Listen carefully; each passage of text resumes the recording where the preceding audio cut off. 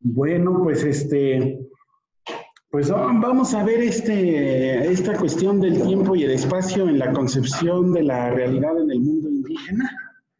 Como veíamos la vez pasada, pues cada cultura se ubica en el mundo de acuerdo a lo que dispone de su entorno, la forma como entiende a lo divino, como entiende a la vecindad con los naturales, y cómo integra su propia presencia en medio de este drama del cosmos donde se busca el equilibrio. En este sentido, en el mundo indígena, el tiempo y el espacio se interaccionan de una forma única y me, me parece muy importante empezar por ahí, porque el territorio que conocemos culturalmente como Mesoamérica es un territorio que abarca más o menos del actual estado de Zacatecas, ¿no? Esa, esa franja divisoria de lo que hoy es Zacatecas con la zona arqueológica de la quemada. Eh, de ahí hacia abajo hasta llegar al área maya, ¿no? En Chiapas y toda esta eh, parte del sureste, en donde está ahora la frontera con Guatemala, es lo que se conoce como Mesoamérica y se conoce como Mesoamérica porque fue un territorio, no queremos decir que de una cultura única, fueron muchas culturas conviviendo en este mismo territorio. Pero a pesar de la diversidad de lenguas y de culturas y de religiones presentes en toda esta zona, había rasgos comunes muy, muy bien delineados muy, muy específicos. Y dentro de esos rasgos definitorios fue, en primer lugar, la concepción urbana, empezar a aglomerarse en centros urbanos. Eso es definitorio de Mesoamérica. Lo que tenemos al norte de México, de Zacatecas hacia arriba, incluso con los actuales grupos de coras, huicholes, eh, pueblos, tarahumara, todo esto, eh, son los que genéricamente les decían los nahuas los chichimecas, con mucho desprecio, porque era la gente que no urbanizaba, no tenían ciudades, eran nómadas.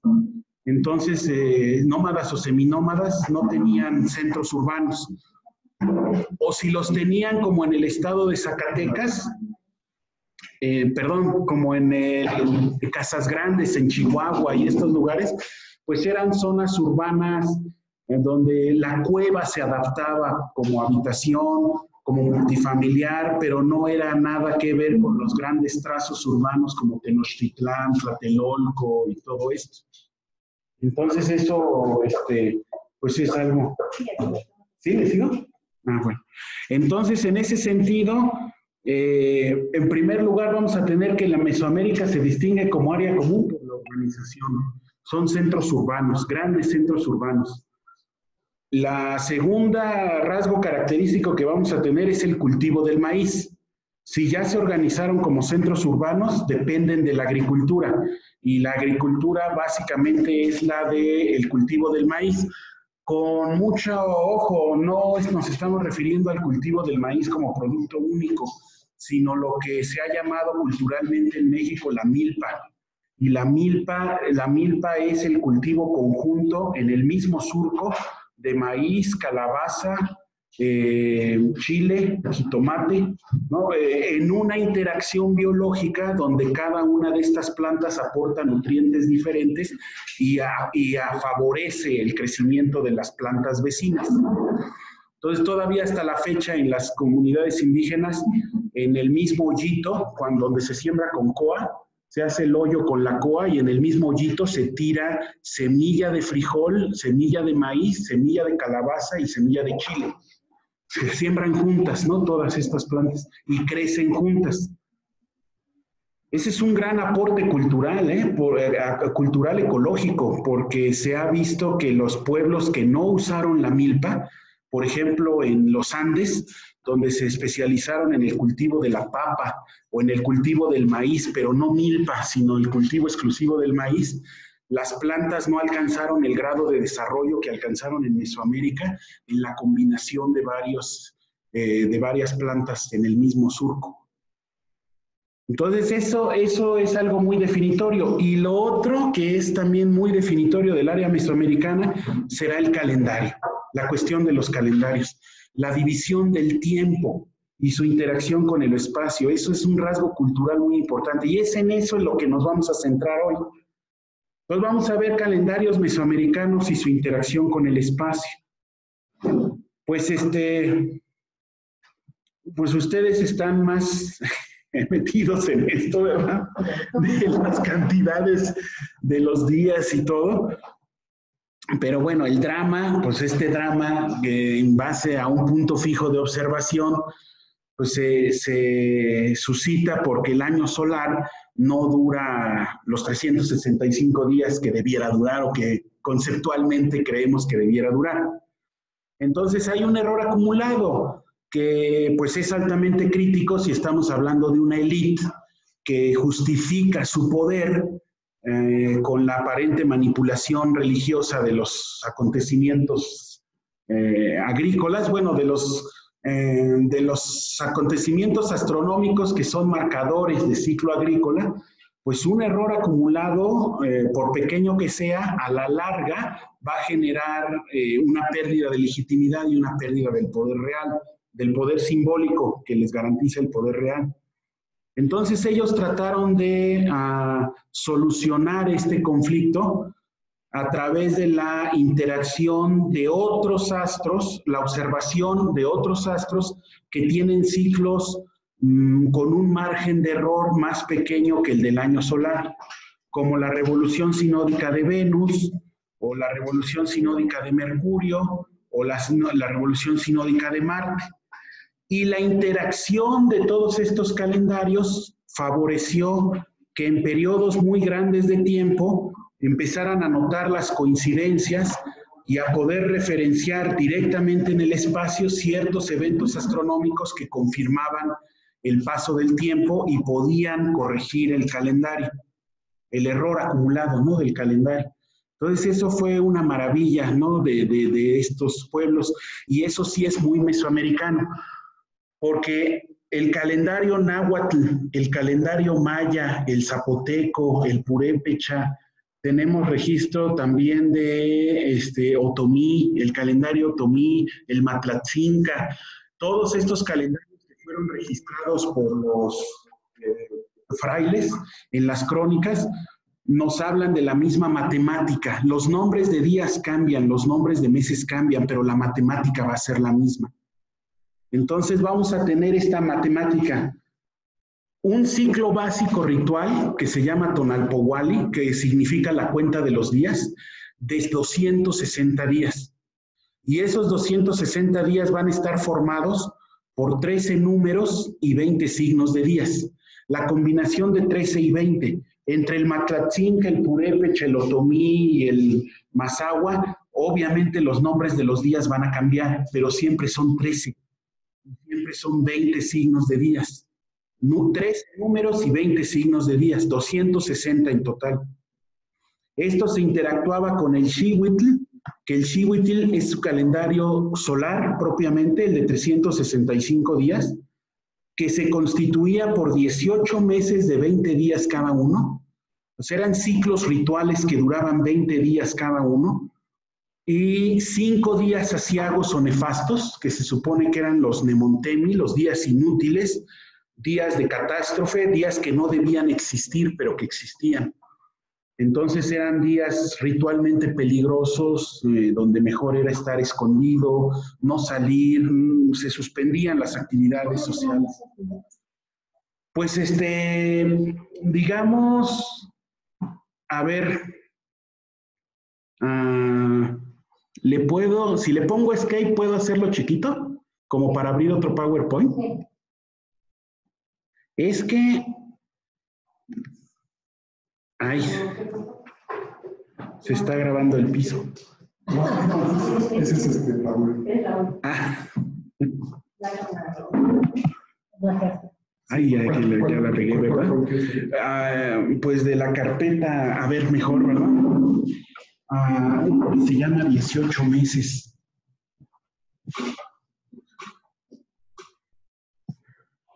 Es que Sagún, Durán, los cronistas tratan de hacer el recuento, el cotejo calendárico de esos 20, de esos meses de 20 días con el calendario cristiano, pero no coinciden, no coinciden, cada cronista lo registra de manera diferente. Entonces podemos ver aquí algún ejemplo. 18 meses, los 18 meses, sí. Gracias. Carlos, No, no, no, ¿En esta página o más adelante? Sí, en la primera. ¿La primera? Ajá. ¿Y sabes a quién también hay que mandárselo? A Elizabeth. Sí, pero creo que creo que no trae el cotejo cristiano de los días. Ya me acordé dónde va a estar. Sí.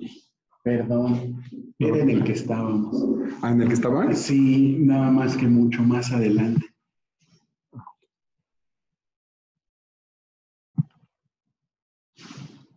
Sí, y ya de ahí ya lo busco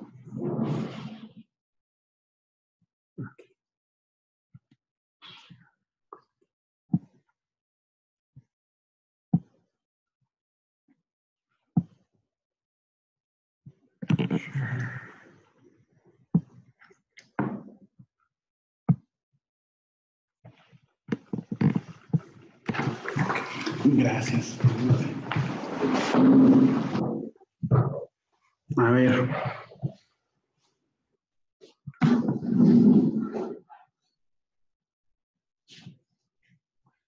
A ver, a ver, a ver.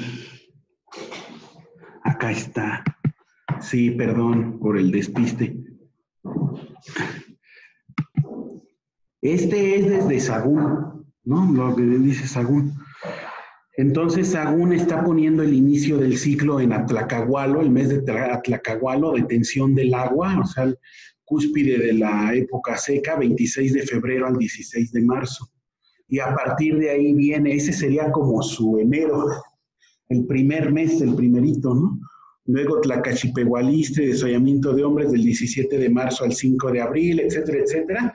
Entonces, los cinco días asiagos o nefastos, los de Montemi, Sagún, Sagún, desde la tradición de los que entrevistó, lo estaría ubicando más o menos entre el 21 y el 25 de febrero. Del 21 al 25 de febrero que serían como los cinco días que no debían existir, que son como cinco días para hacer ajustes, no, no son verdaderos días, por eso no se trabaja, no hay atención gubernamental, no pasa nada. Sería del 21 de febrero que acaba Iscali, del, del 21 de febrero a este al 25 de febrero, porque el 26, según Sagún, empezaba Tlacahual. Entonces es interesante, ¿no? Esta, mm, digamos, o sea, esta parte de la, del intento de cristianización.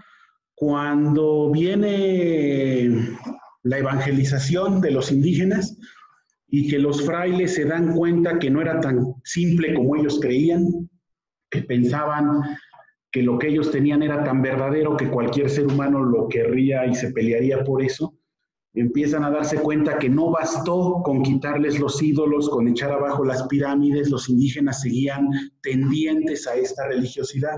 Cuando se dan cuenta que están tan profundamente metidos en, ellos esto a través del ciclo agrícola del maíz y a través de las venidas de lluvias y del ciclo natural que acompaña el crecimiento del maíz, pretendieron, es cuando les interesó esto, y se metieron de lleno a investigar cómo tenían distribuido su tiempo, porque les ofrecieron calcar el calendario cristiano sobre el calendario previo que ellos tenían. Es decir, las fechas claves del ciclo agrícola que usaban los indígenas en este sistema de 18 meses con celebraciones de 20 días cada uno, lo trataron de cristianizar a través de las fechas de las fiestas de los santos sobre todo los santos que van del 3 de mayo con la Santa Cruz hasta muertos, ¿no? Todos santos y muertos, con 1 y 2 de noviembre, que es más o menos cuando se ubica la cosecha. Entonces, en durante todo ese tiempo se fueron empatando algunas de las divinidades que se les daba culto en la época prehispánica con las figuras de los santos que se celebraban en estos periodos y que las fechas coincidían. Fechas y atributos, ¿no? Fechas y atributos. Yo creo que uno de los más sintomáticos es precisamente esta de Atlacahualo, Atlacahualo, la detención del agua, o sea, cuando el agua está detenida, que coincide más o menos en febrero con lo de la, Virgen de la Candelaria, porque era una fiesta en la cual se sacrificaba a una mujer, a una mujer joven, que danzaba y hacía danzas de fertilidad, porque era una mujer joven, no, no jovencita y madura, sino una mujer ya madura, pero joven, fértil, ¿no? El, el, el, digamos, en, en, el punto culmen de su fertilidad, donde había danzas eh, de tipo fálico en el que se le ritualmente se le fecundaba y después era sacrificada. Y dentro de ese contexto del sacrificio de esta mujer, se sacrificaba también a los niños que se llevaban al Cerro Tlaloc para que fueran después devueltos como el maíz, como la mazorca tierna. Entonces la cristianización fue muy evidente a través de la fiesta de este, la Candelaria, la Virgen de la Candelaria. La Virgen de la Candelaria, eh, pero se celebran a los niños, ¿no? También, y este, se comen tamales, ¿no? Que también de todas estas fiestas, cuando eran cuestiones del maíz, se comían tamales, se comían este, tostadas, o se comía, se consumía actualmente el maíz. O, otro ejemplo claro también es, este, por ejemplo, la Virgen de la Asunción, que se celebra el 15 de agosto. La Virgen de la Asunción es una mujer joven y en, entonces el, el, maíz se va representando eh, antropomórficamente como una mujer en los distintos estados de crecimiento de acuerdo al grado de crecimiento de la planta. Entonces, cuando es el 15 de agosto con la Asunción, cuando son las celotizas, quedó relacionado totalmente cuando se hacían los cultos a Shilonen. Y Shilonen significa la peluda, la peluda, el, maíz, el elote giloteado, el, el, giloteado, esa era la peluda. Y era una mujer joven, una mujer madura joven. O sea, ya madre, pero madre joven, todavía no anciana. La anciana es la mazorca ya seca. Entonces era pues referencias muy interesantes, ¿no? Que se van haciendo. Sí, sí, con esto de los santos. Y, eh, pues eh, los frailes se dieron cuenta que ahí era donde estaba el problema y ahí. Eso sí no se sabe se eh, no creo. Eso siempre va a ser una cuestión muy polémica porque se supone que conceptualmente era un honor, era de las mejores muertes e incluso la vida después de la vida era mejor para el que moría sacrificado que para el que moría de viejo en su cama. Pero, pero todas las fuentes dicen que a los que iban a ser sacrificados se les ponían guardias porque si podían se escapaban. Entonces, eso que, pero sí, es tremendo. Y ahí sí nunca vamos a saber. Hay mucha referencia, los cronistas hacen mucha referencia al caso masculino. O sea, los, en el caso de los varones no hay pierde. El varón sacrificado era un guerrero que había sido eh, atrapado vivo en el campo de batalla o bien un esclavo que fue comprado por un mercader. Entonces el varón era porque fue esclavo y lo compraron o porque lo agarraron en el campo de batalla, así llegaba el sacrificio. Pero las mujeres no sabemos, porque las mujeres no combatían ni nada, y, y las mujeres es tal vez un caso más complicado, porque en el caso de los varones es muy evidente que están sacrificando al enemigo azteca, o sea, al enemigo del imperio azteca, se toma de los extranjeros. Los esclavos se hacen en el extranjero, los cautivos son los de los reinos enemigos, pero en el caso de las mujeres y niños, son sus propios niños y sus propias mujeres. Eran aztecas y no sabemos cómo los elegían. Y más los niños que las madres. No, hoy en la mañana, hoy en la mañana estábamos viendo una serie de, ¿cómo se llama? La serie de los Bajo las Estrellas, sobre la luna. Encontraron a Perú 43 niños sacrificados y setenta y tantas llamas. Y ahí al frente del mar. Rituales Sí. a la luna. Sí, igual que en, el, en Teotihuacán, que durante mucho tiempo Teotihuacán se consideró que era un- una cultura pacífica, que los sacrificios humanos en Mesoamérica habían empezado con los aztecas, eh, o sea, echándole la culpa a los aztecas, ¿no? Esos eran los salvajes que empezaron con estas cosas, no, pues viene de muy atrás. En Teotihuacán, en el basamento de la pirámide de la luna, se encontró un ojo de agua, ¿no? o sea, en las excavaciones recientes se encontró un ojo de agua. Entonces parece ser que en derredor del ojo de agua, eso era el elemento sagrado. Por eso construyeron ahí la pirámide. Y ahí, en ese estrato inferior, eh, muy, primi- primigenio, se, se encontró el homóplato de no sé cuántos hombres, ¿no? este, sacrificados, y también de muchos huesos de venado. O sea, hicieron sacrificio tanto de hombres como de venado. Entonces, sí, sí, la cuestión del sacrificio siempre será complicada, pero es muy antigua, es muy antigua y tiene que ver con estas cosmovisiones de interacción y de reciprocidad. Es decir, por muy duro que nos suene un niño que le van, niño de brazos, porque es bebé, y le van picando las piernitas con púas de maguey en el ascenso al cerro Tlaloc, para que en lo alto del cerro Tlaloc lo mataran eh, para pedir eh, la lluvia, por muy duro que nos suene, tenemos que reconocer que con todos los datos de los que disponemos, parece ser que ellos no concebían que estaban deshaciéndose del niño, estaban haciendo un intercambio.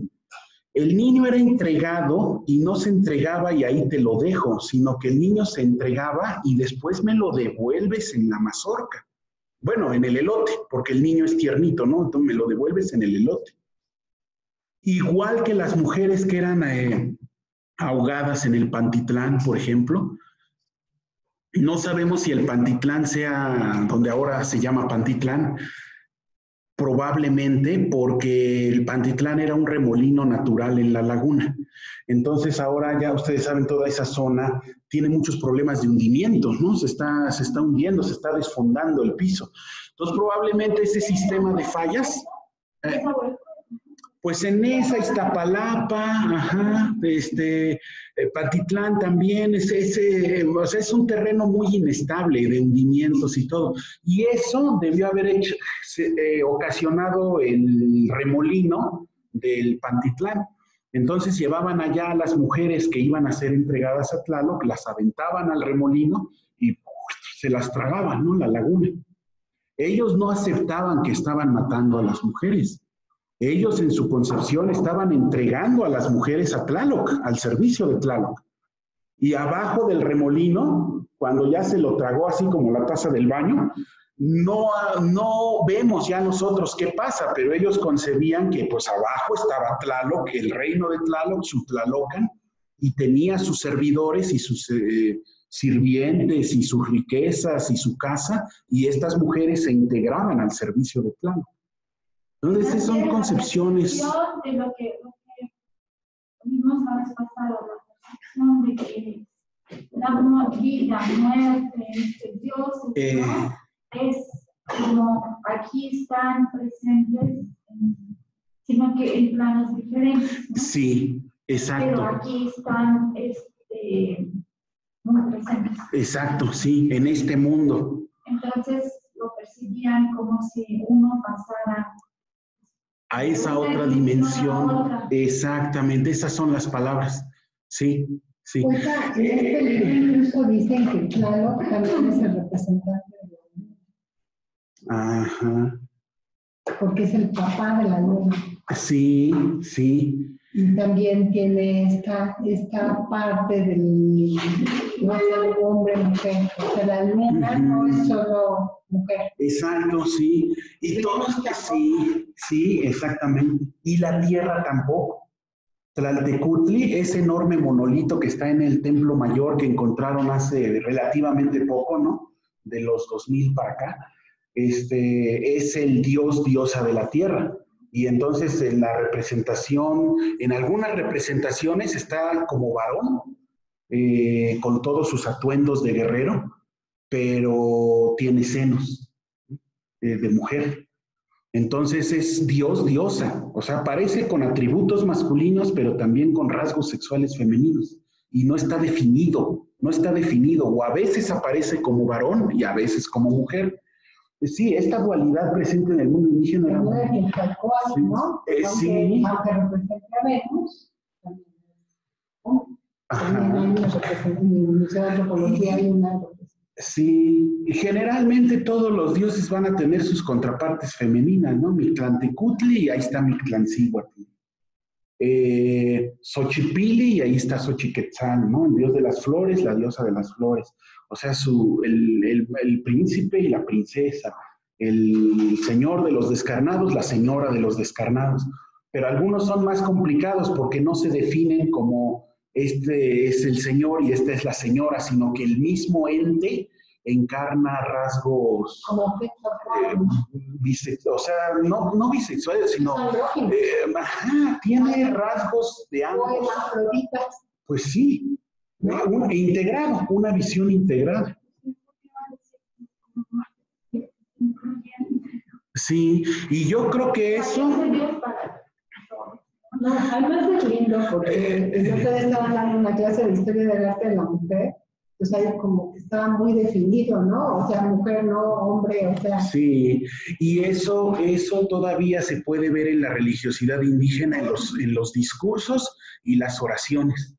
Hay oraciones en náhuatl que son bellísimas, bellísimas. León Portilla, en uno de estos libros más recientes que tiene, Mm, Flor y Canto de la Palabra en México, me parece que se llama, recopila oraciones de los nahuas de Durango. Y entonces son bellísimas, bellísimas, porque lo que dicen los indígenas cuando empiezan a rezar es, Dios, tú que eres nuestra Padre, nuestro Padre y nuestra Madre. Dios, Padre y Madre nuestro y le hablan eh, de las dos formas, indistintamente, ¿no? Padre y madre. Es padre y madre, padre y madre al mismo tiempo. Pero es todo, es muy profundo, ¿no? Es muy profundo, porque el mismo lenguaje se refiere a él con declinaciones masculinas y femeninas al mismo tiempo, ¿no? Aplicado al mismo. Entonces es algo muy, muy curioso. Y yo creo que ellos lo tienen muy presente, ¿no? Este, y en esos momentos debe haber estado más todavía.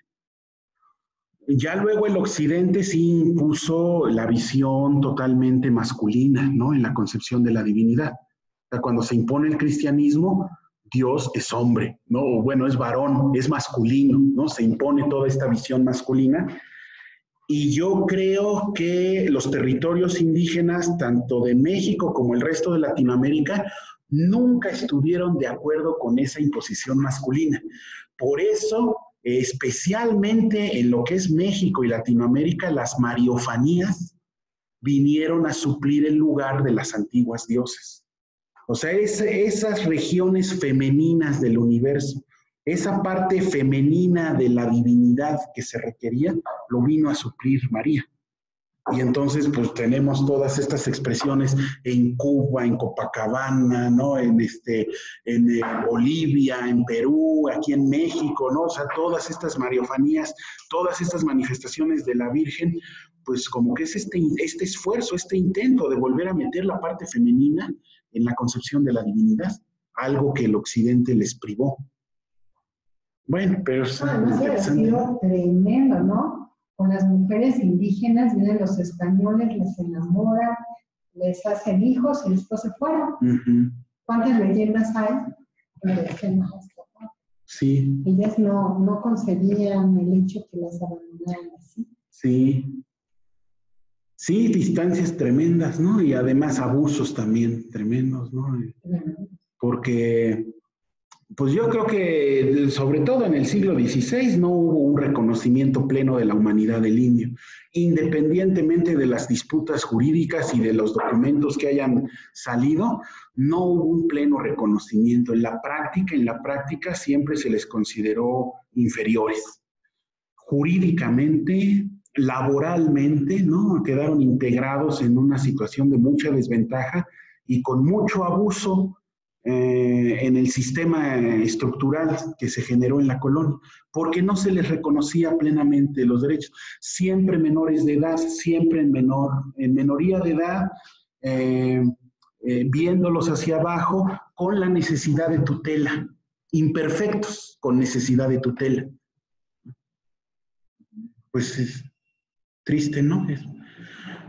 Pero bueno, entonces siguiendo con esto, pues realmente... en otra clase estaba este, un maestro de mitología que me estaba comentando que realmente en mexicano no tenemos héroes. Ah. Que Enrique Krauss había escrito un libro sobre esta parte. Sí. Que por este mismo problema que que tuvimos, ¿no? Con el indígena, el español, el Hernán Cortés, que contó de pero nunca se ha valorado, pero es que el indígena, o sea, nosotros como mexicanos, no somos una cultura que tengamos realmente héroes, ¿no? No es como el ruso o el alemán. Sí, es una historia rara la nuestra. Es una historia muy... Conflictiva y dolorosa.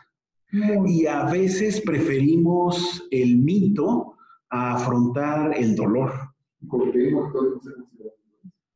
Pues sí, pero como que en un sentido, mm, digamos, siempre en un sentido extraño, hay algo.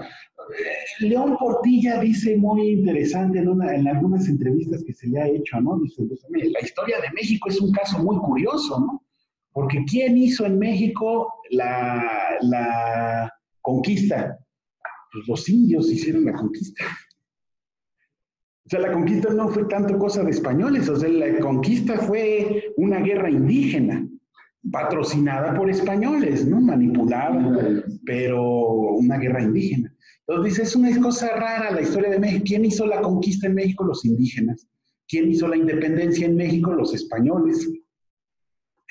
Eh, entonces es algo extraño, o sea, se, se rompió la estructura social que había ¿no? en el mundo indígena, quedaron integrados en desigualdad de circunstancias en la nueva estructura y en la nueva estructura empezó esta mentalidad colonial favoreciendo todas las distinciones y divisiones que había.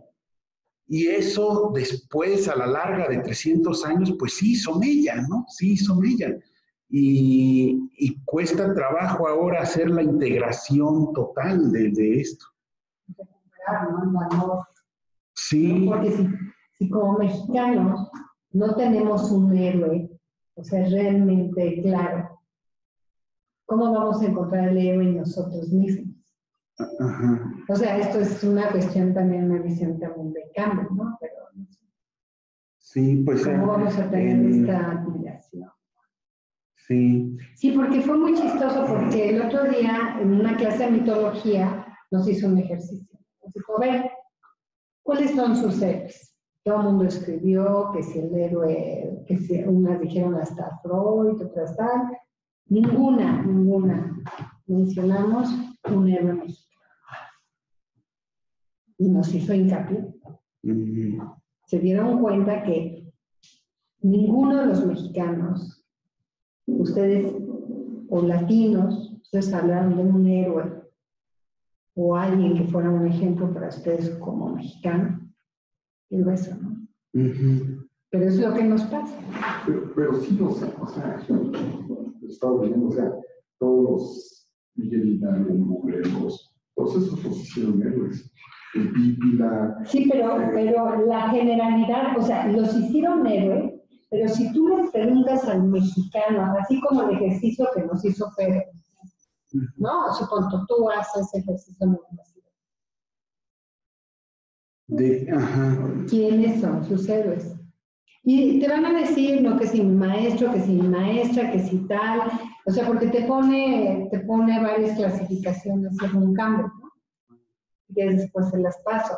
Entonces, ninguno pone a alguien mexicano, o sea, que, y, y dice Pedro, las veces que yo he puesto este ejercicio, por lo general, los mexicanos nos- no nos identificamos con un héroe mexicano. Es raro. Es que, ¿sabes qué pienso? Que los mexicanos no se, en su, no se interiorizan, no se meten al camino interior como de la nación en la búsqueda y valoración de sus raíces, su historia, las historias, ¿no? Como que pasan en la escuela, ¿no? Tantas etapas, y después buscan afuera. Fuera, fuera, fuera. Pues es lo que también dijo Pedro. No hay esto orgullo. Ve cuánta gente hay aquí. Ve cuánta gente realmente estamos aquí. Tú pones una clase de mitos griegos, la gente viene. Nórdicos, vienen. Hasta hindús, vienen. Pero es un derecho de dónde viene esta parte. Pero no sé cómo llamarlo. Una Trauma. Una deficiencia, un, no sé, Sí. de- Bueno, en ese sentido me parecen geniales los trabajos de Samuel Ramos, por ejemplo, ¿no? Desde el mismo lenguaje. O sea, él hacía un análisis del lenguaje. Cuando aquí en México alguien está por ahí en lo oscurito y se le cae algo, hace un ruido y alguien pregunta, ¿quién anda ahí? Y contesta, nadie. No, o sea, ¿cómo nadie eres tú? O sea, ¿cómo no- nadie, o sea, si no hay nadie, nadie contesta. O sea, tú no eres nadie, eres algo, eres tú. Pero estamos acostumbrados a este autoninguneo, por ahí lo llevaba Samuel Ramos. Y entonces varios autores de estos, ¿no? Vasconcelos, empiezan a hablar de este trauma de la conquista, de este trauma poscolonial. Eh, León Portilla mismo lo ha dicho muchas veces, ¿no? Dice, si tú vas a Europa, pues los españoles no tienen ningún problema en cuando hablan de la, del sometimiento de 700 años de los musulmanes. Es un acontecimiento histórico que les dejó influencias, se hibridaron en muchas cosas, se distinguieron en otras, al final los corrieron y todo, todo tranquilo, o sea, no queda el trauma, no queda jalando eso. No, pues, estos musulmanes, ¿no? Si no hubieran venido, si no nos hubieran hecho esto, no estaríamos así. O sea, no queda ese sentimiento como se percibe no solo en México, sino en general en toda Latinoamérica. Porque este rasgo psicológico es muy común también en Bolivia, en Perú, en este, Guatemala, ¿no? En Honduras. O sea, esta concepción lacerante, autolacerante de, del sometimiento de haber sido sometido y despojado y de considerar que ese sometimiento y ese despojo rebasan el ámbito histórico y no acaba en 1800 y tantos, ¿no? sino que sigue, sigue, se queda, es permanente.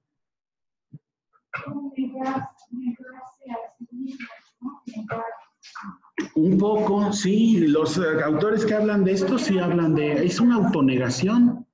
La educación en México no hace nada para, impulsar esto y ya estamos en el siglo, ¿no? Ajá. Sí, sí, definitivamente. Ah, bueno, y eso sí ha sido muy... Los cinco años en la primaria, ¿no? Y padres aprendemos de México, ¿no? De sus políticas, cómo está, cómo aquello, historia, pero no hay profundidad. Es como la cosa, cosa, cosa, esta, esta, esta, esta, pero no hay una profundidad que la inculque, ¿no? Entonces, el mismo, como la, la misma nación, el mismo gobierno, Sí, es negar el conocimiento, no sé, una parte más allá. Es muy triste. es que... Es muy triste. Ajá. Y, y con la vergüenza. pero no hay, de repente no veo mucho esta parte del orgullo realmente. Sí. Eh, Es maniobra política también, ¿no? Ahí lleva implícito algo de maniobra política, porque realmente el sentimiento que queda al estudiante cuando lleva todo el curso de primaria, secundaria, preparatoria, es pues, en qué momento vine a nacer, todo lo que se podía hacer ya está hecho, la historia está acabada. Esa es la idea de fondo políticamente manipulada que queda, la historia ya se acabó. O sea, todo lo que había que hacer ya lo hizo Hidalgo, lo hizo Morelos, lo hizo Juárez, lo hicieron los niños héroes, ya, ya está hecho, ya. A ti no te toca hacerlo, a ti te toca nada más engancharte y seguir en este sistema que es el culmen de la historia, donde ya todo está arreglado, está ordenado y está finiquitado. Es esa misma idea de cultura. Siento que al revés. O sea, hay un sentimiento de que estamos todos mal. O sea, yo no digo que, yo no veo un sentimiento de que las cosas.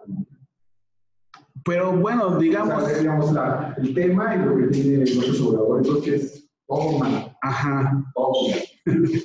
¿No? Eh, pero, ¿Qué bien, según López Obrador? Pero yo creo que sí. eh, Bueno, ahorita el discurso social va a cambiar, ¿no? Y sobre todo los grupos de... Todo está mal. Todo está mal. Y, y- y eso viene, pues yo creo que en México es mucho más complejo. Sí. Eh, o sea, yo creo que sí hay un sentido común de que todo está mal, pero también, o sea, cuando hablamos de la educación oficial de la que provee el Estado o que controla el Estado, pues todo está bien. Todo está bien porque, o sea, ya, ya está hecho, ya no hay que meter, ya no hay que moverse. No es cierto. No es cierto. ¿Sabes por qué hay tantos suicidios en México? Suicidio- el, el índice de suicidio en México ya es altísimo, altísimo. Ya estamos en los primeros lugares. ¿Por qué? Porque el mexicano supuestamente todo el tiempo debe de estar feliz.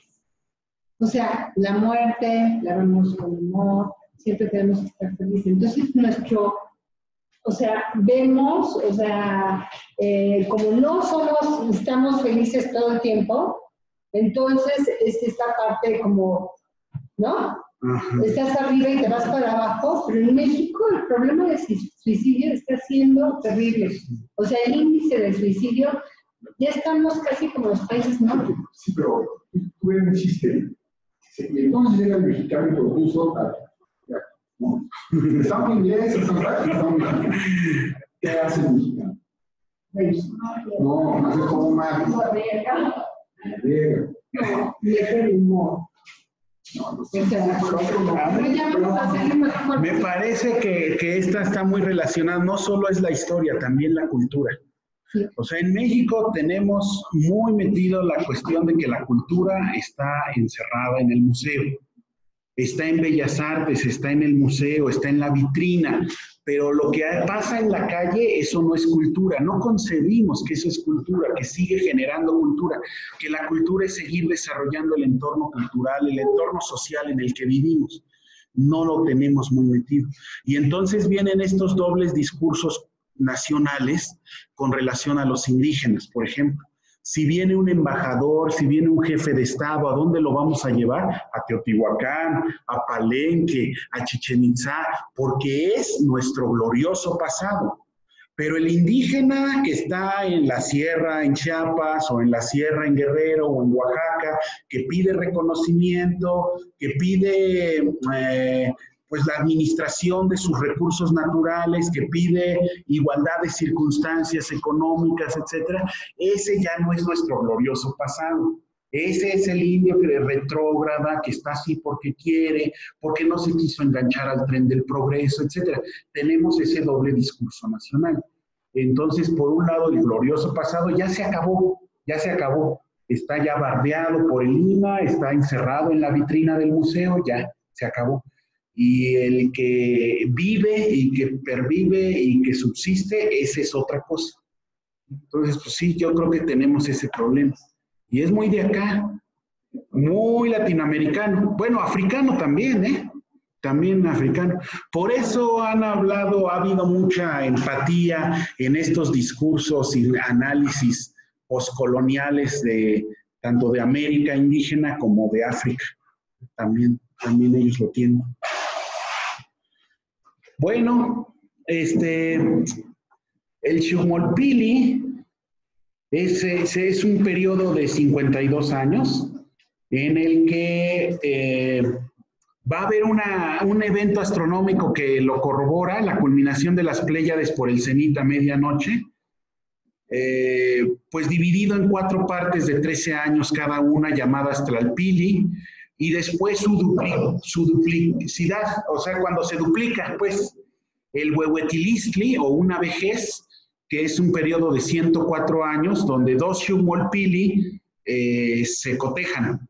Y es muy interesante porque por la matemática implícita, cada 104 años vuelven a coincidir en el punto de arranque tanto el Tonalpowali como el Xihuitl y la revolución sinódica de Venus. Entonces, esta es la matemática y la interacción que utilizaban entre calendarios. Si se fijan, no es un solo calendario, son varios que se echan a andar. Ah, la, la, astronomía, ¿no? Actualmente pues sí llama nuestra atención en que no deja de maravillar que todo esto se hizo pues a ojo desnudo. El aparato o el, digamos, el instrumento más sofisticado que se utilizó para medir el paso de los astros fue el gnomon, eso fue lo más sofisticado. Y el gnomon no es otra cosa más que dos palos cruzados, fijos sobre alguna plataforma o algo estable, se fijaban los dos palos, así en cruz y entonces tenías cuatro cuadrantes en los que podías observar en un punto fijo el horizonte y poder registrar el paso de las estrellas, bueno, de los astros para, para llevar una contabilidad. Pero pues. Ah, ajá.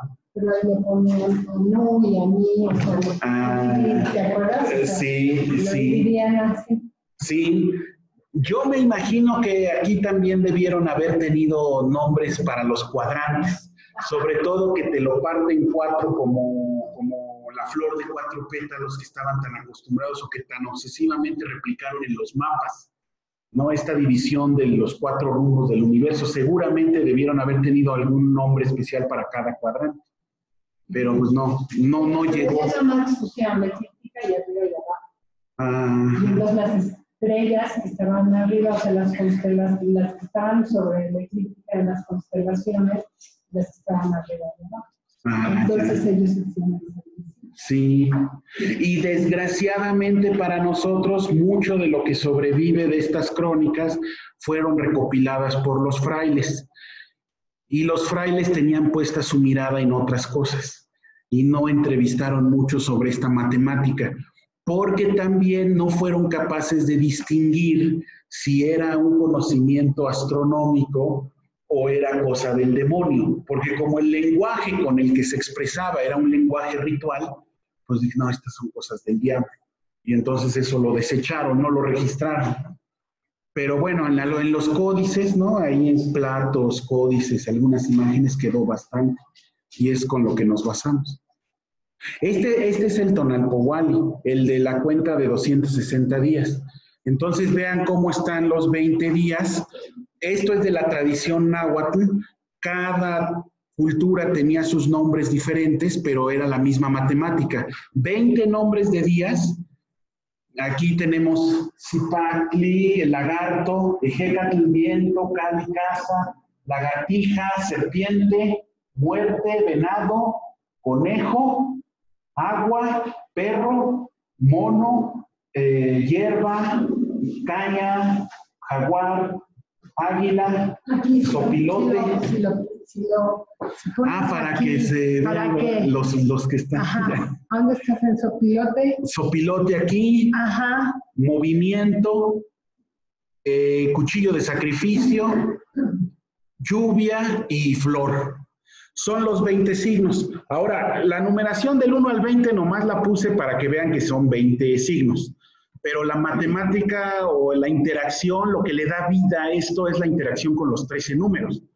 Entonces funcionaba así.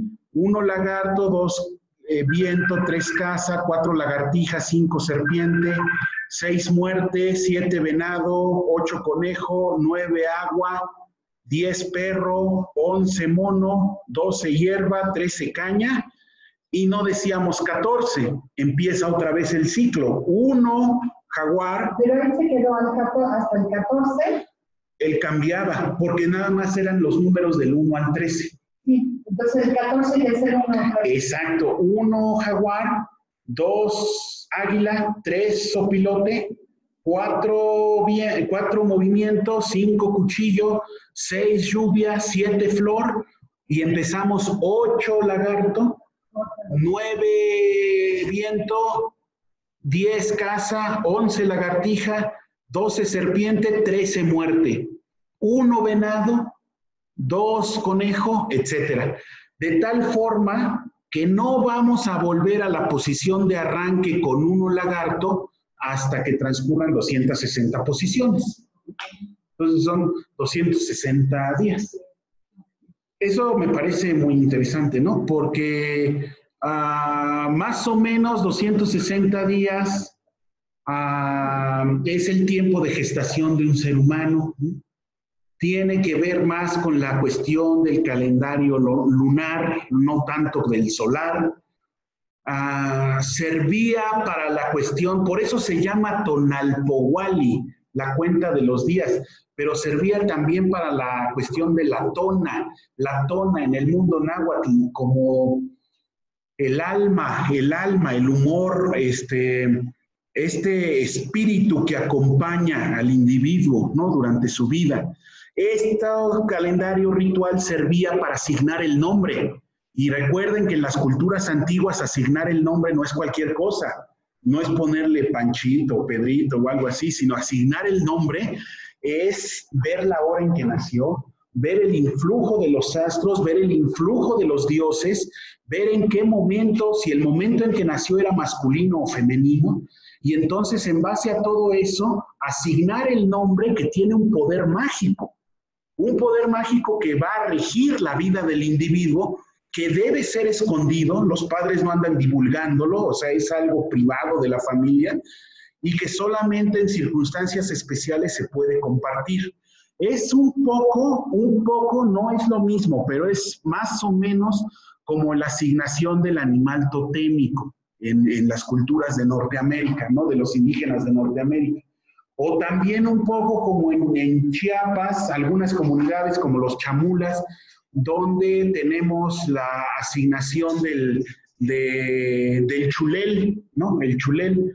O sea, los, cuando un niño nace, eh, los padres toman toda la ceniza que hay en el fogón y riegan bastante ceniza alrededor de la casa. ¿Para qué? Para que cuando pase la noche, la primera noche del bebé en la casa, al amanecer, ver qué huellas hay en la ceniza. Porque el primer animalito que venga a saludar al niño es el que le va a dar la protección al niño. El chulel va a ser su chulel. ¿no? Entonces es su, su espíritu gemelo, su alma amiga, le va a dar protección espiritual, van a compartir poderes, ¿no?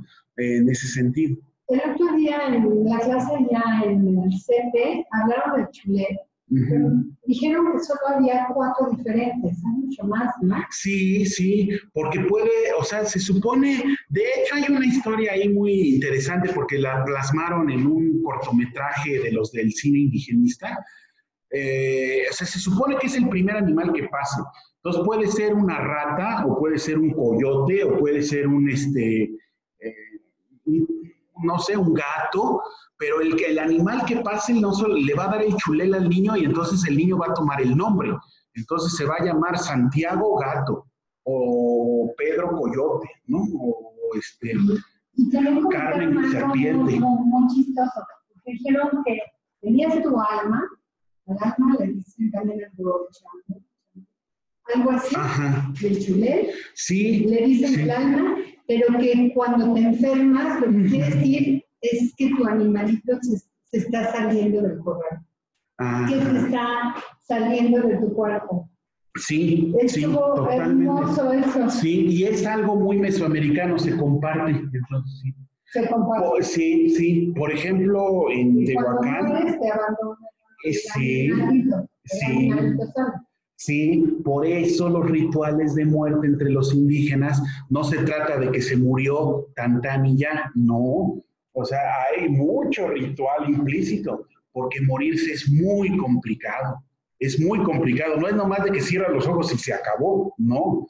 Este, el chulel se queda adentro, el alma se queda adentro. Y lo vivo no puede estar con lo muerto porque si lo muerto se pudre junto con lo vivo, viene la maldad, viene la enfermedad. Es como alguien que quiere hacer brujería en este sentido, entonces toma algo de la persona viva y le pone carne podrida y va y lo entierra en un cementerio. Cuando se empieza a pudrir la carne con la cosa que relaciona con la persona viva, el vivo se enferma y puede hasta matarlo, ¿no? Porque lo vivo no debe estar junto con lo muerto. Entonces, cuando una persona se muere, si no hay nadie que tenga los piadosos deberes del novenario, de la levantada de cruz, de llevarlo al cementerio, bueno, primero a la misa y luego la banda y luego llevarlo al cementerio y hacerle la levantada de cruz y la misa de nueve días y la misa del mes, entonces el alma nunca va a salir del cuerpo y el cuerpo se va a empezar a pudrir y se va a pudrir junto con el alma y esa persona para él es una desgracia porque va a ser un alma en pena pero para toda la colectividad también es una desgracia, porque un alma en pena hacer males. No, y además estuvo también lo que se vestían de blanco, mientras estaban vestidos de blanco, con flores blancas, ah. era que todavía no había pasado el ritual. Ya cuando el alma de este muerto ya había pasado a otra dimensión, entonces ya todos se pudieron Ajá. Sí, es muy interesante. Sí. No, no, no, es que es una cosa impresionante, impresionante. En las comunidades indígenas no es lo mismo una persona que se muere de viejo y en su cama que una que se muere en un accidente o una que la balacean. Hay rituales diferentes. Una persona que muere de viejo y en su cama, entonces el proceso es normal, lo velan en su casa, lo llevan a enterrar, eh, luego hacen la levantada de cruz, etcétera. Pero un alma que muere violentamente, que la balacean o algo, es peligrosa para toda la familia. Entonces ese muerto va a estar segregado de la familia durante siete años. O sea, los siete años que tarda la tierra en devorarlo, no puede entrar a la casa el alma. Hay que ponerle la ofrenda de muerto afuera en la calle, ah, o por lo menos en el corral, pero no puede ingresar a la casa. De plano. De plano hasta que pase el tiempo ¿no? de de purificación. Sí.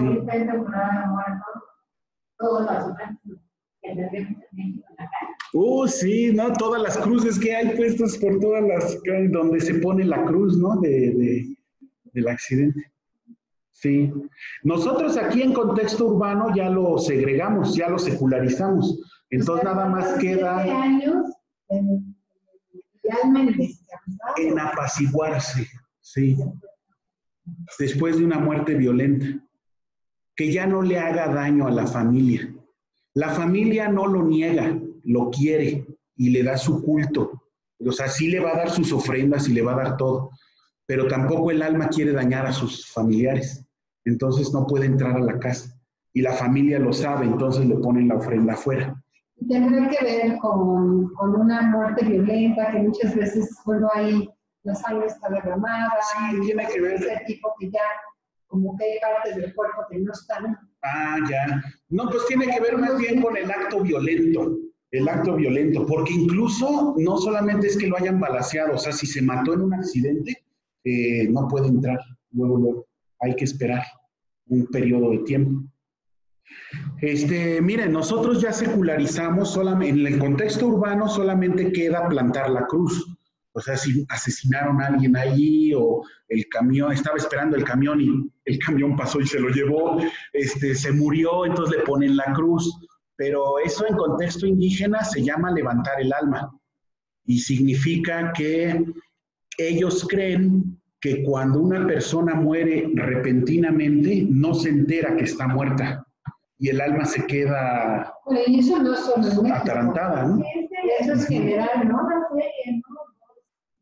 Ah, la, sí, sí, ajá. Hay que explicarles, sí. Entonces, eh, digamos, esa puesta de la cruz en el lugar donde murió la persona, en, todavía en contexto cultural indígena, a mí me tocó verlo en Oaxaca con el papá de un amigo de la carrera, que murió en un accidente automovilístico con varios miembros de la familia, primos, tíos.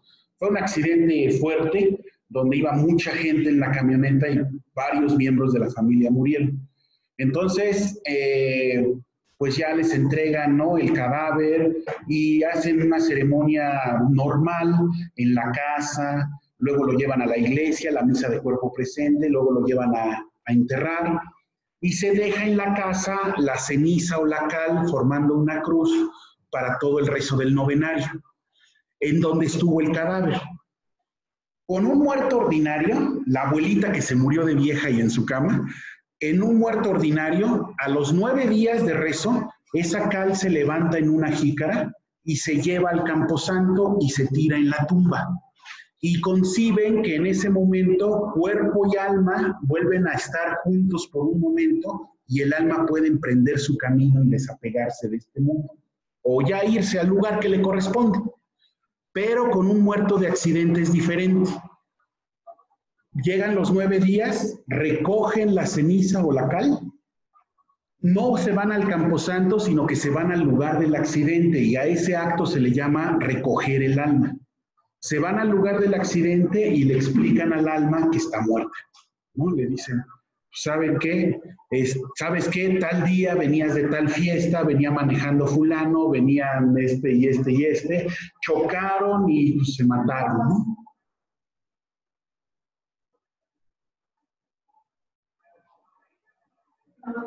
Están vendiendo algo, ¿no?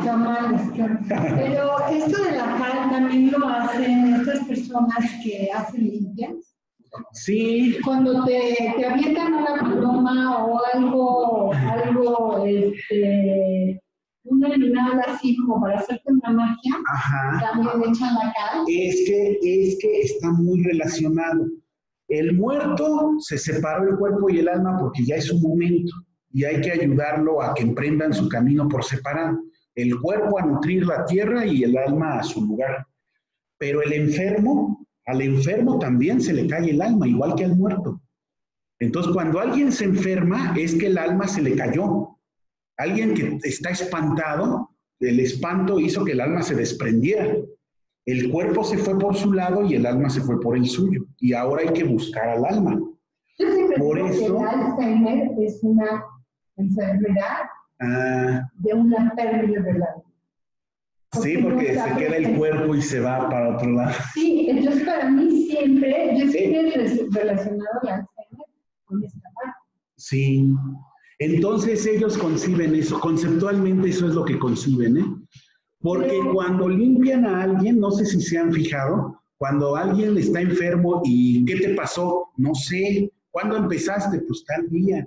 ¿Pero qué te pasó? No, pues no me acuerdo, no pasó nada, no hubo algo especial. No se sabe dónde se cayó su alma. Entonces lo cubren con una sábana blanca, así que no vea nada, como un fantasma lo cubren. Y entonces con las ramas le empiezan a dar una rameada, ¿no? Duro con las ramas y empiezan a gritar su nombre. Juan, Juan, regresa, Juan, aquí te esperamos, Juan, vuelve. ¿Dónde te caíste, Juan? Regresa. Para que el alma, si anda por ahí vagando, eh, oiga y regrese y se meta al cuerpo. Si logran que el alma se vuelva a meter el cuerpo dentro de estas cosmovisiones, vuelve a la salud. La salud regresa. También el estar desfasado, puedes meditar, Ah, sientes como un desfasamiento hasta que vuelves a Sí. entrar, porque sí se, sí se siente. En, Tehuacán, por ejemplo, este, todavía en comunidades actuales este, le dan a la, a la gente, le dan agua, a la visita, a todos, ¿no? Les dan agua antes de dormir, un vaso de agua, porque esa fuerza, tengas o no tengas sed, te la tienes que tomar, porque si en la noche tu alma tiene sed y se para a buscar agua, y un perro ladra o el gato eh, y te, te despierta el cuerpo y el alma andaba buscando el agua por allá afuera, ya te fregaste.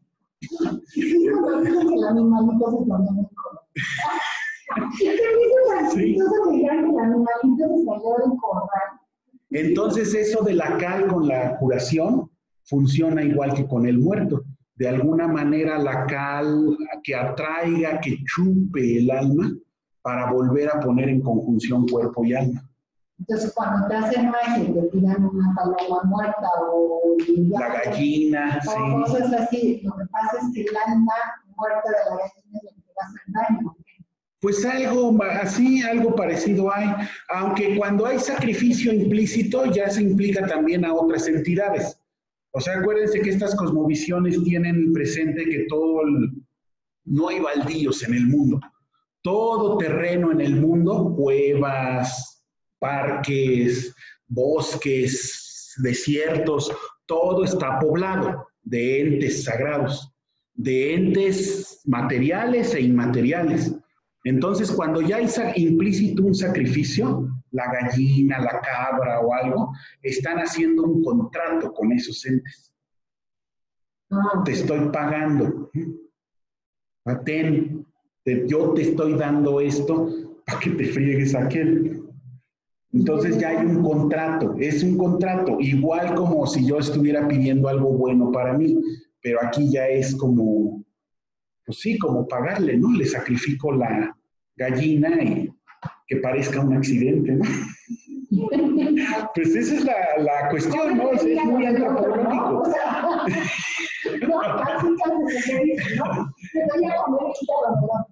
Sí, es, es interesante eso. La magia es muy pragmática en ese sentido.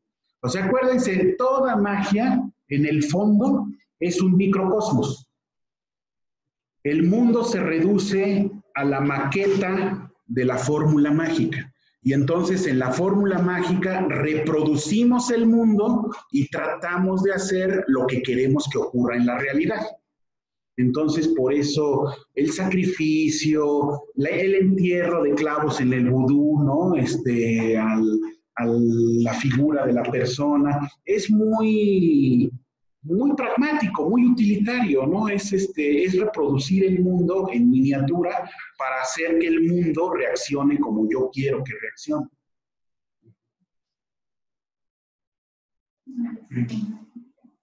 ¿Cómo? Más o menos, sí. Y en el mundo prehispánico ahí tenemos todas las maquetas, ¿no? Todas las maquetas. Eso es algo muy importante. En el Templo Mayor, en Tlatelolco, este, todo, se usaban maquetas. O sea, se hacían lugares donde se reproducía eh, la zona de los lagos. O sea, se, se escarbaba o se picaba la piedra para hacer como como alberquitas, ¿no? Intencionalmente se hacían alberquitas que, recopilaran agua y ahí se ponían maquetas, ¿no? De tipo del templo mayor o de reproducir la ciudad y entonces tratar de, en base a eso, hacer que los elementos funcionaran como yo lo necesito.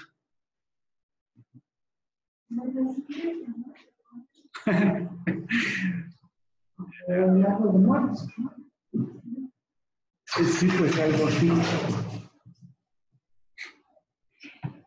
Entonces, bueno, entonces ya más o menos, ¿no? Lo, cómo funciona este Tonalpohualli.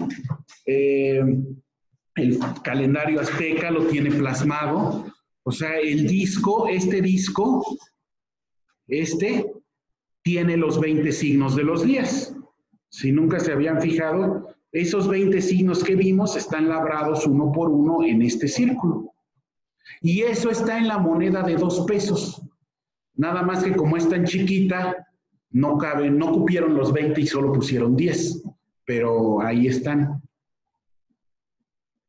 Entonces, bueno, esta escena central del, del, eh, calendario azteca, pues es el signo de Olin, ¿no? Es el signo de Olin, este el de movimiento. ¿Por qué es una de las fechas calendáricas? ¿Por qué? Pues porque estamos en el quinto sol y el quinto sol es el sol de movimiento. Entonces, por eso está ahí ese signo. Ah, bueno, aquí está nada más encerrado así en rosa, lo que, pues ya en un dibujo, lo de los 20 signos, ¿no? Que les acabo de decir ahí.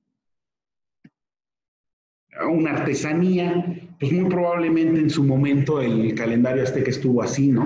cubierto de estuco y coloreado. Bueno, aquí son artesanías también, ¿no? Pero nos dejan ver este, en la parte exterior, en el disco exterior, vean cómo hay dos serpientes que se tocan la cabeza. Bueno, abren las fauces y casi se tocan. Acá están sus colas. Una viene para acá, la otra viene por acá y en la parte baja vean cómo están las serpientes abriendo las fauces casi a 180 grados y de las fauces de cada una de las serpientes emerge el rostro de un personaje y de la parte alta de la mandíbula de la serpiente viene este doblez donde encontramos estas bolitas que según algunos autores esto es la representación de, las, de la constelación de las Pléyades. La que se corrobora cada periodo de Humolpili, o sea, cada periodo de 52 años. Entonces, bueno, los frailes lo empezaron a registrar y pues aquí más o menos lo que hemos platicado lo pusieron ahí redactado. Entonces aquí vemos que el ciclo empieza. Este se llama Magliavechiano, el códice Magliavechiano. Entonces los tlacuilos indígenas pintaron sus escenas y los frailes escribían en español o en náhuatl, pero ya con grafías latinas, lo, este, la explicación, porque eran códices de informe les mandaban estos informes a sus superiores o al Papa o a los obispos de Europa para decirles pues, cómo vivía esta gente y qué hacían y qué logros iban teniendo. Entonces es lo mismo. Este, bueno, este es, el, este es el uso ritual que se hacía del calendario. Aquí en este códice que es el, el códice Cospi, este, vamos a tener eh, ocho páginas que piensen que este, códice desglosado, o sea, eran códices que se doblaban a manera de biombo y se desplegaban. Y ya desplegado, esta escena dura ocho páginas, tiene ocho páginas, vamos a irnos rápido, ¿no? Aquí pues nada más podemos ver de a una por pantalla, pero ustedes traten de imaginárselo. Ah, ah muy bien. En Ah. Y se pueden pedir. Y ya ojearlos todos. Sí, es que sí es emocionante, la verdad. No, está increíble. El lunes estuvimos viendo códice y es muy diferente. Sí, ¿verdad? Yo creo, pues sí, no se me ocurrió hoy, pero para el otro jueves me traigo uno. Bueno, me traigo unos dos de estos que estamos viendo ahorita para que los veamos en vivo desplegados, porque sí cambia, ¿no? No, es otra cosa. Sí, es que, eh, es que te pones a ver y ya cuando te interpretan es una maravilla. Sí, sí, es algo interesante. Entonces, estas ocho páginas, pues aquí nomás las podemos ver de a una por, pero ustedes articulen en su mente las ocho páginas desplegadas, ¿no? Juntas.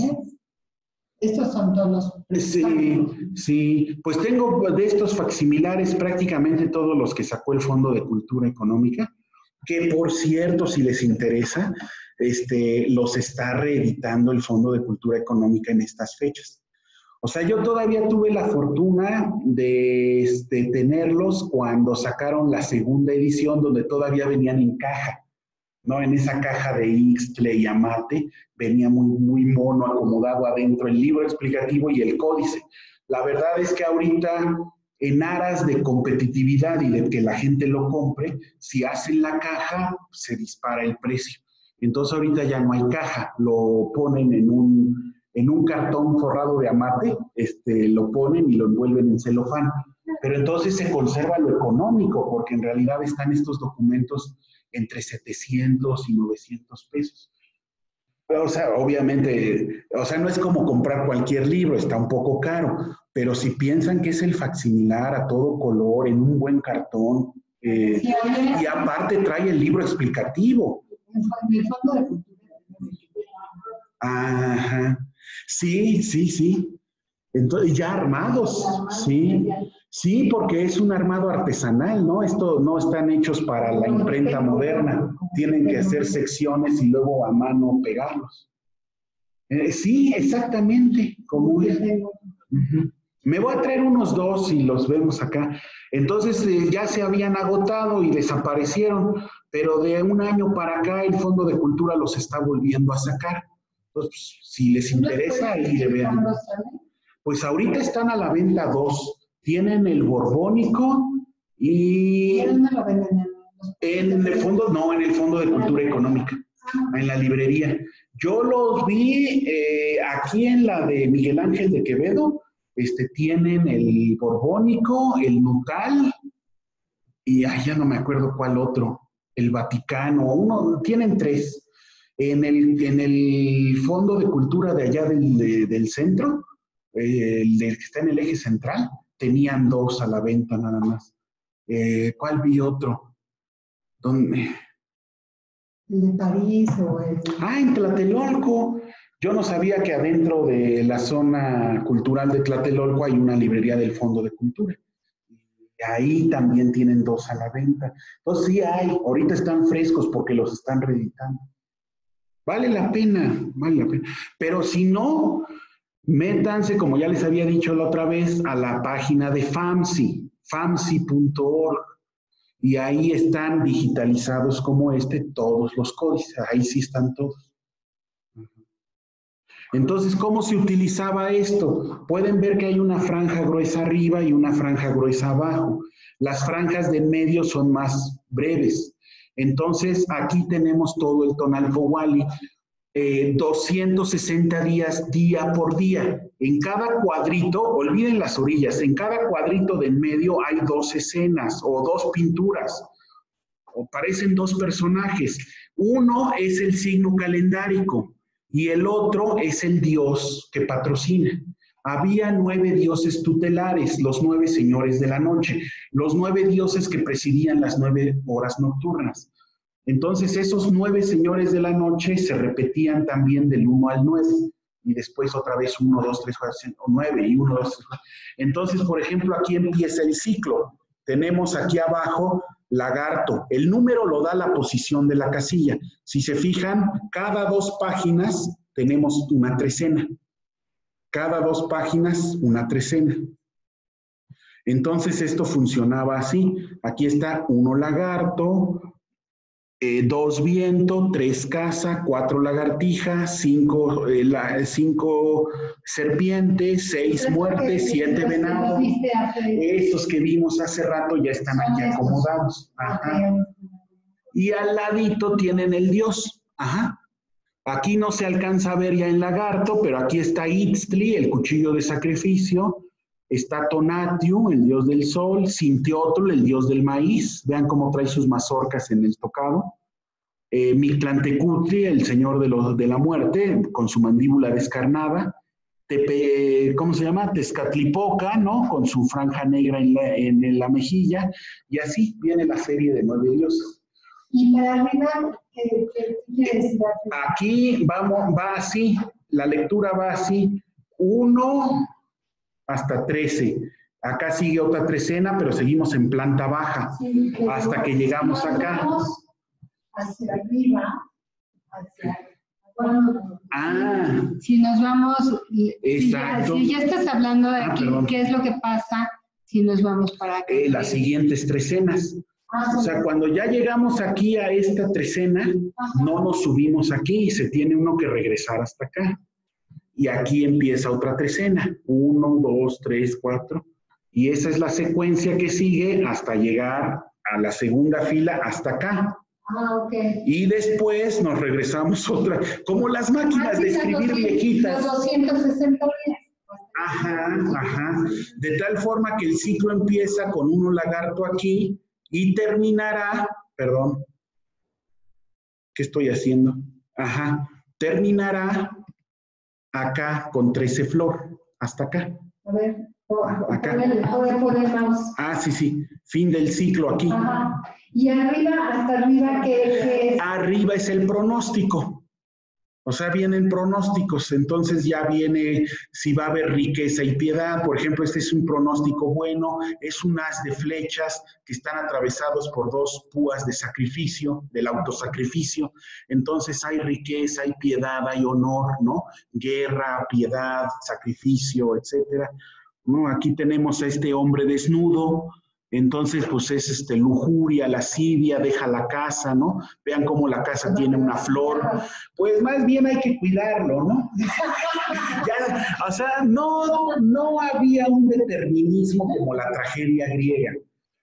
Ah, en el mundo prehispánico se trataba de atisbar un poco el ámbito del misterio y del futuro para saber este fulano de dónde va a cojear, qué le va a costar trabajo, por dónde le va a venir la desgracia, para entonces los padres en la educación y, y, él mismo a través del ritual tratar de hacer contrapeso a esa tendencia que ya de por sí trae hacia dónde lo va a jalar la desgracia, pues tratar de apuntalarla un poquito mediante el ritual.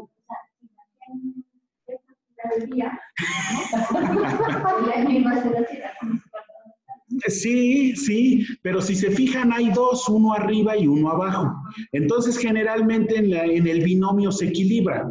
Uno es más bueno y otro no tanto. ¿No? Entonces uno es bueno y uno malo, uno bueno y uno malo. Entonces no era así como que pues pobre, ¿no? Ya le tocó, no, sino más bien era, hay que, somos humanos, caemos, sí, todos, pero no cojeamos del mismo pie, hay que saber por dónde nos va a llegar. A algunos les llegará por un lado, a otros les llegará por otro. Y saberlo es bueno en estas culturas, ¿por qué? Porque el ritual, el ritual suple lo que la determinación te dio. Hay cosas que no podemos negociar. ¿Cuándo naces? ¿Dónde naces? ¿Bajo qué influjos está tu nacimiento? Eso no lo podemos controlar. Pero si lo sabes hacia dónde te puede llevar o inclinar eso, entonces lo que sí puedes controlar es tu actividad ritual. Pues eso es lo mismo en la astrología. Lo mismo trabajar conciencia, ser consciente, pero ser consciente es tener siempre tiempo para prevenir. Ya si te dejas, si eres ocioso, si te dejas hacia la desgracia y a la suerte, pues es tu cosa, ¿no? Ya sabías que para allá iba la catarata y no hiciste nada por remar al otro lado, ¿no? Pero si se sabe, entonces se puede prevenir. Y fíjense, ajá, perdón. Una predicción, ¿no? la misma cada Cada 260 días. Sacaban una nueva. No, no, el mismo libro servía. El mismo libro servía. Entonces, por, exacto, exacto, porque hay que recordar que son culturas agrícolas y toda cultura agrícola es cíclica. Viene el tiempo de lluvia, sigue la sequía, viene el frío, luego viene el calor, pero siempre es cíclico pero mm, estos ciclos no hacen monótono el ritmo. No hay uno igual a otro. ¿Por qué? Porque este fulano que nació en este mismo día, que le hace 260 días nació en este día, uno nació en la mañana y el otro nació en la tarde, uno nació en el oriente y el otro en el poniente o en el norte o en el sur. Entonces todo se combinaba. No era solamente la lectura de esto, esto te daba el día, el día y el Dios, uno y dos pronósticos pero eso se tenía que combinar con el lugar de nacimiento, la hora del nacimiento, ¿no? La región del rumbo del nacimiento, porque todo eso determinaba los demás factores como para poderte ubicar bien, bueno, ubicar a los padres en relación con su hijo. Sí. Eso también pasa Sí. También. Lo que pasa es que nosotros como astrólogos nos debemos de, ubicar más en, este, en esta parte del animismo barbárico, o sea, donde es la parte politeísta. Y es lo que muchos confunden. Nosotros no estamos influidos por, por el monoteísmo en ese sentido. Ajá, Nosotros tenemos los dioses. Si la tierra muere, nuestros dioses también mueren. Exactamente, sí, sí, sí. sí. Entonces es una cultura pues, que también se parece. Exactamente, eso es lo que tratamos de, centrarnos la vez pasada para entender que esto es otra cosa. Y entonces hay que entender toda la cultura y la cosmovisión en su complejidad y dinámica interna. Si a esto le metemos el monoteísmo, ya no funcionó. Ya no funcionó. Por eso la eh, ya tampoco no funciona. O sea, porque tampoco no estamos separando el espíritu del alma Exacto. del cuerpo. Y entonces, sí, esta persona va a interactuar en un entorno natural donde también están los entes sagrados. Y este fulano que quiere saber cómo le va a ir, no es solamente él egoístamente como humano, su suerte y su destino, sino que en su suerte y su destino va el destino de su milpa, va el destino de su eh, plantación, va el destino de los dioses que están habitando el espacio geográfico que él habita y que él cultiva. Todos se verían afectados si éste la riega. Si le va mal, a todos les va mal. Nosotros no tenemos en Occidente ese cotejo con la divinidad. Es que en Occidente, con la concepción monoteísta del judaísmo, Dios se alejó tanto de la historia que ya no tiene que ver con nosotros. O sea, sí nos creó y luego nos, nos quiere y se hace cercano a nosotros y ahí anda una y otra vez haciéndose presente en nuestra vida. Pero es muy diferente a estas concepciones. En estas concepciones, la concepción de la divinidad es e implica que si al hombre le va mal, los dioses se friegan, también sufren, porque los dioses también comen y también necesitan quien les dé culto y también necesitan bienes. Y si no hay seres humanos que les den culto, pues entonces no hay nadie que les dé. Y ya verán qué hacen. Ellos tienen potencias que los humanos no tenemos, pero van a volver a sufrir y van a pasar carencias. Y entonces esa visión de un Dios necesitado, de un Dios sufriente, de un Dios que puede pasarla mal si el ser humano lo rechaza, no la tenemos dentro del cristianismo. Pero la filosofía griega, sí, también Zeus quiere el orden y se enoja cuando no hay orden. Y, se codean. Y, está Dionisio también, que hace sus sus travesuras y, ¿no? O sea, las competencias entre el dios del mar y el dios del viento, o sea, es muy humano, pero es un reflejo. También en los griegos tiene cosas parecidas. También es todo un ritual, no es una, bueno, la mitología, ¿no? Toda esta parte de los... Sí, es muy rico, muy profundo, muy profundo. Y este, bueno, desgraciadamente, culturalmente, todas estas cosas, pues generalmente han sido denigradas, ¿no? En el sentido de, pues miren cómo vivían esta gente salvaje. Y lo hacían, pues por, por eso, ¿no? Porque son salvajes. Pero no hay ningún sentido en lo que hacían. No, claro, hay mucho sentido en lo que hacían. Lo que pasa es que es un sentido que sigue otra lógica y no la entendemos si no entendemos todo este contexto. Pero me parece genial. Bueno, miren, ya casi es hora pero creo que sí nos da tiempo porque, porque es muy bonito y es muy interesante. Eh, bueno, los mayas eran mucho más abstractos. Vean cómo estas pictografías, que todavía son muy cercanas a lo que dice el dibujo, se, eh, acá ya es otra cosa. Los mayas ya estaban en el nivel jeroglífico. O sea, ya el jeroglífico es completamente abstracto, ya no representa lo que está dibujado, ya sigue otros patrones eh, en la escritura, pero esta franja de bolitas en medio donde la serpiente está circundando es los 260 días. La misma matemática. Cambian los nombres, pero es lo mismo. 13 más 13 por 20, 260. En las vasijas. Esta es una cosa genial, es el códice, la, la secuencia, los pronósticos para los matrimonios. Todos, todos se llamaban a su nombre de pila como Moctezuma o como Tizoc o, este, o como Nezahualpili, pero aparte de ese nombre, su nombre, nombre que le ponían porque se lo quisieron poner sus padres, venía el nombre calendárico. Entonces todos se llaman. No, este es náhuatl. Sí, esto se llama, eh, es de los códices del grupo Borgia y se le llama Horizonte Cultural Mixteca Puebla, porque es contenido náhuatl, el contenido es 100% náhuatl. El que pagó para que le hicieran el códice fueron los nahuas del centro de México.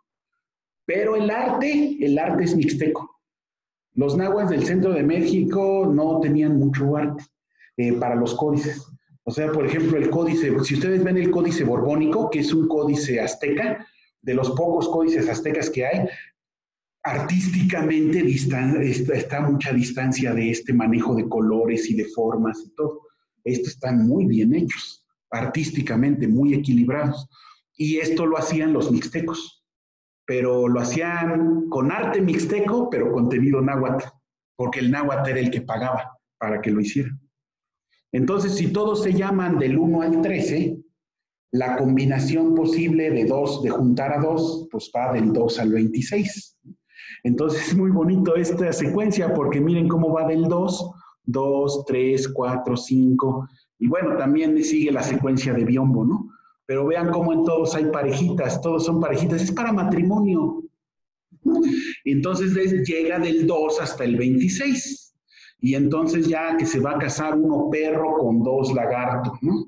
Entonces ya llegan y quieren saber cómo va a estar la cosa. Y entonces vean aquí, uno y dos son tres. Entonces tenemos, por ejemplo, aquí esta escena donde está registrado el número tres. Y entonces ya les podían decir, bueno, va a haber piedad. Esta es la olla, es la vasija del sacrificio y está llena de viandas, ¿no? Esas cositas. Tiene enterradas dos púas de maguey, la púa de maguey que se usaba para el autosacrificio. Eso quiere decir que va a haber piedad, va a haber honor, va a haber dignidad. Acá tenemos una vasija en la cual hay una bola de copal, ¿no? Donde se clavó una flecha votiva, o sea, hay ofrenda, hay devoción. La mujer está en actitud este, de noble. Vean cómo tiene este tocado en el pelo. No tiene los senos descubiertos como en otras escenas, lo cual significa que es pipilti, ¿no? Es noble, no es una igual. Tiene el keshkemitl, es, es noble. Y el varón está sentado en un trono de piel de jaguar. Pero cuidado, porque vean cómo se le está metiendo la coralillo entre las piernas. La coralillo, la serpiente de, la, serpiente de coralillo es la lascivia, es el adulterio. Entonces el hombre que se le, se le sale de las bragas la, la, coralillo o que le está entrando entre las piernas la coralillo es o sea, va a ser o va a tener tendencias, ¿no? Eso alegre, este, hay que tener cuidado con él. Entonces, pues ahí una advertencia a ella, ¿no? Cuidado con él, porque pues, si te descuidas, quién sabe. Miren, el del 4 está peor, porque este del 4, el hombre está pintado de rojo, el rojo también es color de lascivia, y la serpiente lo está ahorcando ya la tiene enredada en el cuello. Y la mujer ya se va, está volteando, ya le dio la espalda, ya, se va.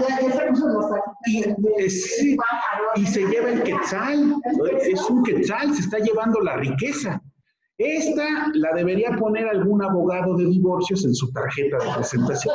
Este es el, el cotejo prehispánico de un divorcio, de una buena desplumada en nuestros días le quitó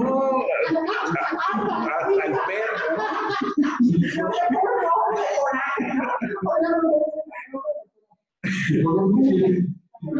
Sí, sí, sobre todo el rojo es en relación con la lascivia.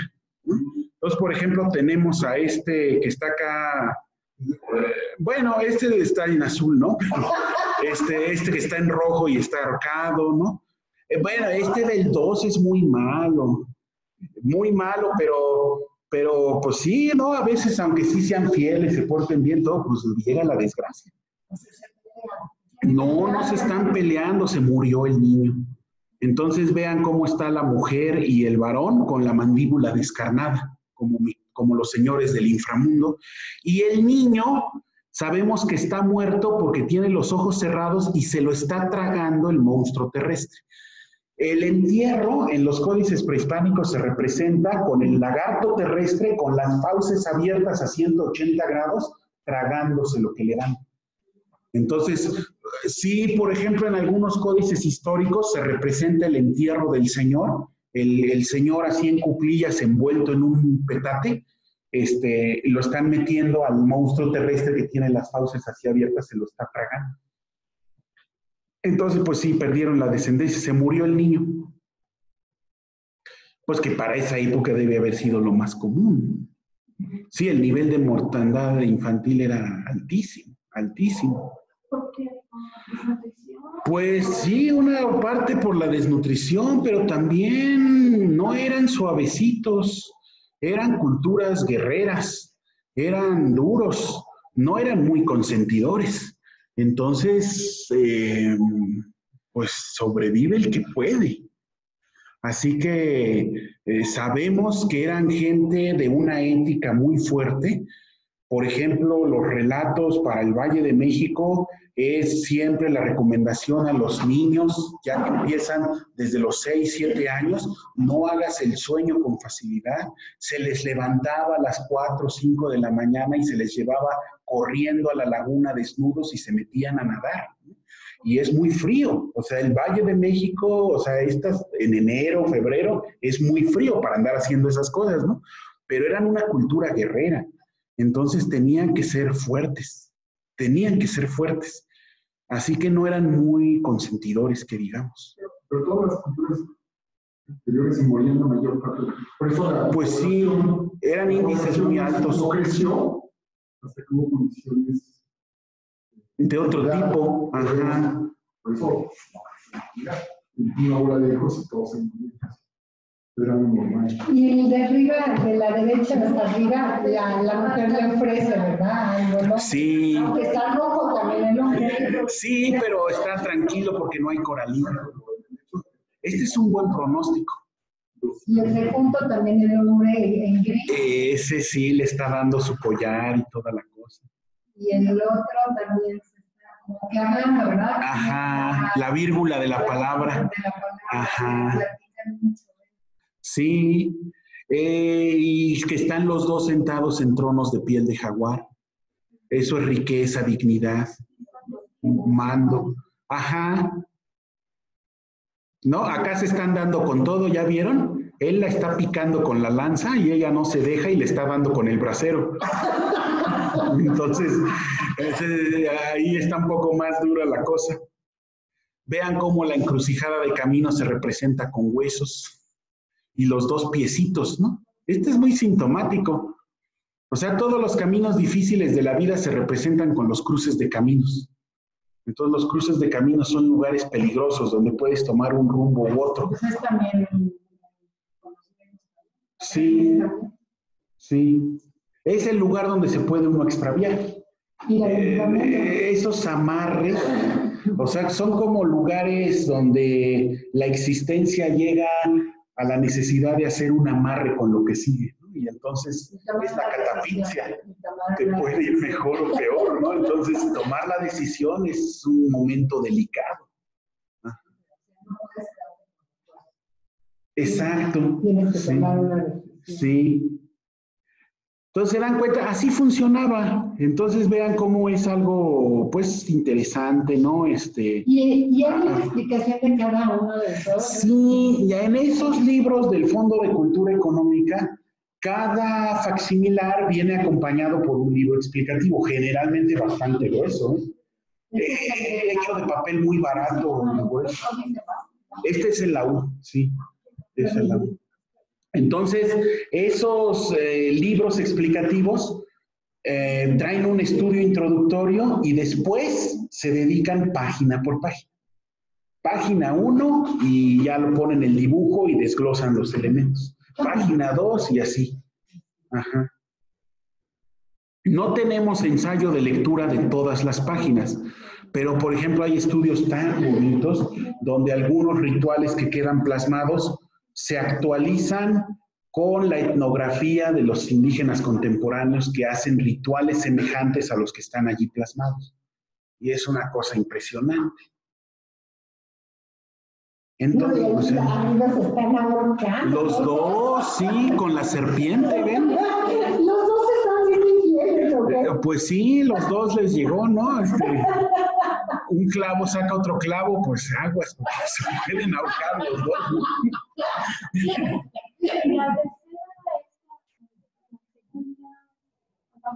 abajo. Esta, esta. Sí, ¿qué les pasa? Ah, pues son, es un, son joyas, sí, un collar, pero digamos, estos son buenos pronósticos. Cuando no está la presencia de la coralillo, no se están agrediendo, no se están separando, o sea, es como un intercambio productivo, ¿no? Está el collar de joyas que ella está tomándole a él, pero están en una actitud tranquila, pues, ¿no? Este, de, de intercambio, de, sobre todo se confirma abajo con el, la vasija, la vasija de sacrificio que tiene la flecha votiva y que tiene la, la bola de copal.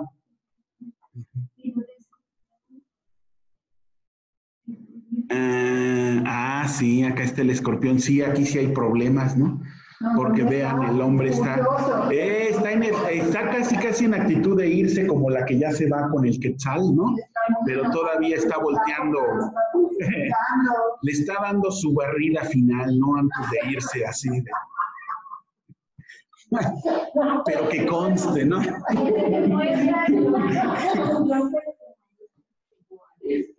Complicadísimos en todas las culturas, ¿no? A ver.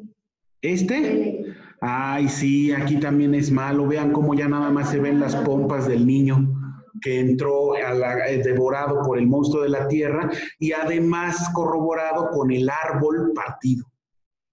Vean cómo está el árbol, este, que las fauces, de, las fauces de este lagarto que es el árbol es las raíces, y acá la fronda y está partido, ¿no? Está cortado a la mitad, se perdió la descendencia. Pues yo creo que son las, las, las preocupaciones básicas de toda cultura, ¿no? Unión matrimonial, pues de alguna u otra forma controlar a este o controlar a esta, ¿no? Porque es un delicado equilibrio en el que no queremos que, no queremos perder, o al menos perder tan visiblemente. Ah, la preocupación por la descendencia, la preocupación por la riqueza ¿no? material. Y pues yo creo que son cuestiones universales, lo vamos a encontrar en los rituales africanos, en todos lados, ¿no? O sea, esas insistencias en tener lo que consideramos una buena vida. Y, la, también hay una que voltea para un lado con el cuerpo esta. ¿No? Esta. Sí. No, es que lo que pasa está partido, pero esta es una sola escena. Ay, ¿qué hice? Doble clic. Ah, de la, de la que queremos. Era la 30. A ver. ¿Sí es esta? Sí. Sí, es que aquí se, está la división de las pliegos de amate, pero esta es una sola escena. Sí, acá a poco no les recuerda la de 40 y 20. Ah, bueno, no, también las, ya, ya la señora también ya está. Sí, sí, este, pero bueno, aquí aunque lleguen dándose de barazos, pero pues llegar a esa edad ya es un logro, ¿no? Llegar a esa edad y juntos, ¿no? Entonces, pues ya. Sí, sí, está.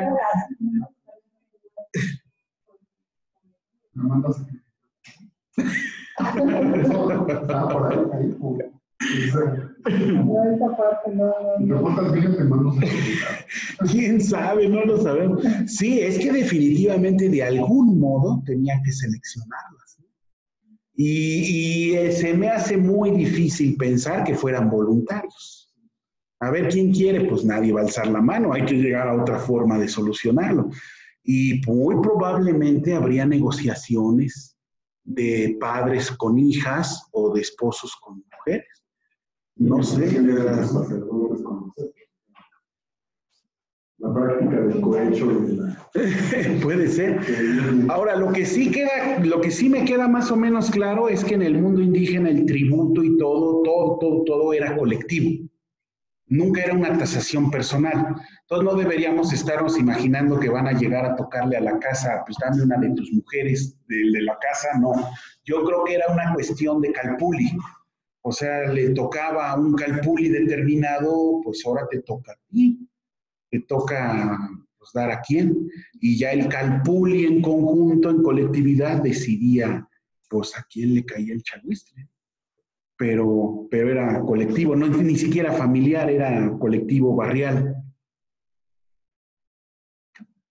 Muy bien, pues este, yo creo que aquí ya le dejamos, ¿verdad? Porque... Gracias, así, así nos dejas para muchas clases más. Pues el, el- el jueves que entra, este, eh, sí me traigo unos dos, dos o tres códices, porque sí es cierto, es emocionante y siempre no es lo mismo verlo en pantalla que verlo aquí.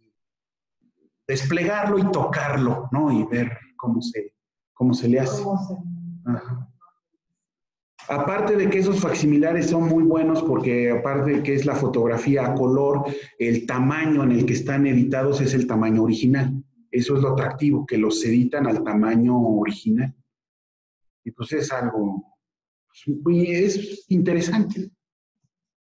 Bueno, eh, ¿qué le aprieto a- para terminar? Aquí.